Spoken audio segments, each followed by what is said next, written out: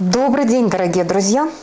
Я предлагаю сегодня на практическом примере рассмотреть, что же происходит в психике человека – что делает его счастливым, что делает счастливым его жизнь, его восприятие, что дарит нам а, минуты эмоционального какого-то порыва, открытости, вот эти эйфорийные состояния, блаженства, радости от жизни, энергии жизненной, что позволяет нам в дальнейшем выстраивать классные отношения, а, быть здоровым, быть реализованным, иметь доходы и так далее.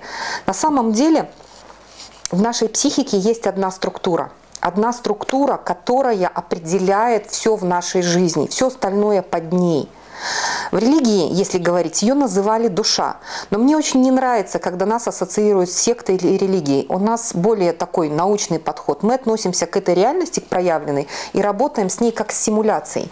Если бы у нас не было такого подхода, а, мы бы не смогли добиться тех же результатов, которые мы на сегодняшний день имеем с разными заболеваниями, включая а, тот же самый аутизм и ДЦП. Да?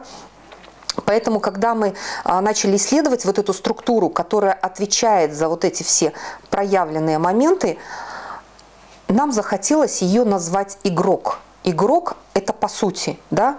То есть, грубо говоря, эта структура, она отвечает за то, как строится проявленный мир человека.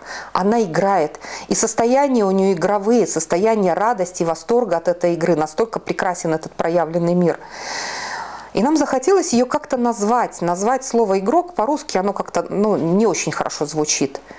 И мы обратились к латыни. Каково же было наше удивление, когда мы обнаружили, что игрок по латыни – это «людё».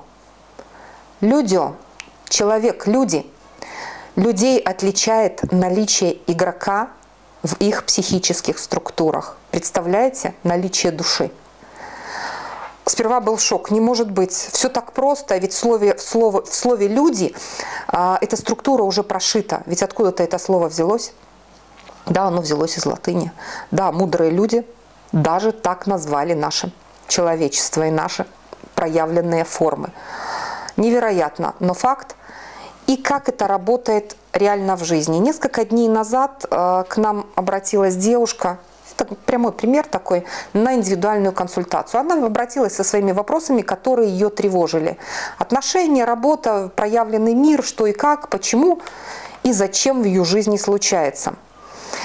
И казалось бы, казалось бы, обычная консультация, когда мы рассказываем о прошлом, о будущем, о настоящем и общаемся с игроком. Конкретно игроку задаем вопросы. Вот этой структуре люди, душе мы задаем вопросы. Скажи, чем надо заниматься человеку, чтобы он был счастлив? И мы ей написали то, как видит ее проявление душа. И вот момент, когда человек осознанно синхронизируется с этой структурой, начинают происходить чудеса. Чудеса исцеления, чудеса реализации, чудеса в отношениях. Вот это вот соединение «я» проявленного и «я» играющего, да, когда ходилка-стрелялка слушает того, кто сидит за компом и управляет через мышку, да, вот эта синхронизация, она необычайно важна. И вот сегодня я получила письмо, а, звучит так. Наталья, здравствуйте, спешу поделиться своим восторгом. Я была у вас на индивидуальной консультации. Вы с Андреем мне озвучили, что моя душа хочет работать с камнями, делать украшалки. Мозгом я восприняла это нормально, так как люблю бисеры, бусины. Но ничего толком, никогда не делала, нет навыков. После сеанса я гоняла эту мысль в голове, сходила в библиотеку и набрала книг о бриллиантах. Подала заявку на практический курс по гемологии. А через несколько дней я проснулась, и у меня в голове болтались два имени – которые имели отношение к украшениям и костюмам. Но вот эта жвачка в голове, а нафига тебе это надо? Почему тебе кто-то должен помогать? Я подвисла. Я просто тупо достала свои бусины и начала с ними что-то делать. У меня оказались все материалы, которые для этого требовались. Я просто не верила своим глазам. Фатин, мне пришлось гуглить, что это, и даже он у меня был. А сегодня я заткнула свою жвачку и написала о женщине, которая занимается постановкой спектаклей. И у нее есть костюм, который надо обшить бусинами, и она мне его с радостью даст. И будут еще и другие костюмы. И я могу не только заниматься тем, что мне приносит радость, но еще проявляться вовне. Я просто ликую внутри. Я просто буду делать красоту. Спасибо, Наталья и Андрей.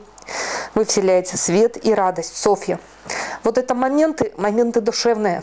когда душа приходит в синхрон, когда она ликует, когда она благодарна, когда она поет. И это вызывает у нас эмоциональный отклик, потому что мы тоже воспринимаем мир через душу. Понимаете, вот эта структура, она необычайно важна в жизни человека. Она дарит человеку здоровье через наполнение энергии, энергии интереса к жизни, энергии непосредственного включения.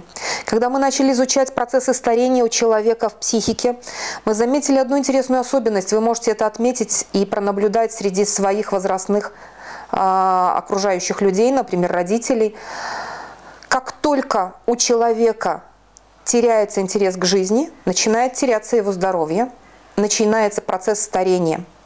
Иногда он запускается в молодые годы. Видишь человека, которому ничего не интересно, а он уже седой. Вот соизмерьте вот эти вот моменты. Как только теряется нить интереса, теряется нить жизненной энергии. Нить жизненной энергии потерялась, рассыпается здоровье, рассыпается карьера, реализация, жизнь не нужна. Зачем тогда жить этому телу, если нет интереса? Душа не хочет играть, душа уходит. Вот эта структура людио наша, та, которая делает нас людьми, она просто покидает и уходит. И тело уходит на инкарнацию. Хотите быть, быть здоровыми, хотите долго жить, проявляйтесь, господа. Проявляйтесь, играйте. Для этого эта игровая структура приходит в нашу материальную реальность через нас.